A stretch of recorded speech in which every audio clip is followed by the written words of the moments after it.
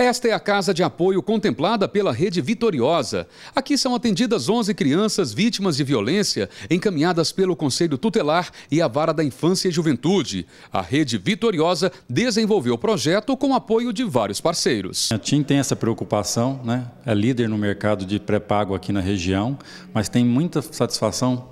É muito bom estar podendo ajudar essas crianças junto com a TV Vitoriosa. É mais uma parceria que se concretiza e nós estamos muito felizes por isso. A Eletromac vê com bons olhos a questão da responsabilidade social. Né? Toda empresa se mobiliza para estar participando desse projeto. Os outros projetos foram projetos muito importantes porque pegaram famílias, mas aqui é uma grande família, são várias crianças. É, a responsabilidade social que a empresa vê na questão de dar o um amparo para as crianças é magnífico. Né? Tirando né, o desafio do tempo, que realmente foi o tempo curto para fazer muita coisa, você vai ver que, o, que a instituição é bem grande, mas eu acho que o resultado valeu cada minuto de esforço. Paralelo à entrega, aconteceu o projeto Sorriso no Bairro. Vários serviços gratuitos foram oferecidos à população. Nesse espaço, houve teste de glicemia e aferição de pressão arterial. Esta moradora aproveitou a oportunidade para conferir a pressão. Como é que está a pressão aí? Tá boa. tá boa. Aprovou a iniciativa? Uhum, aprovei.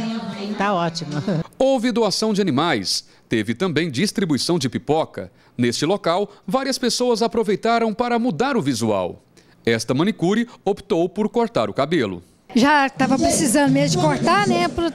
Estou aproveitando a oportunidade, né?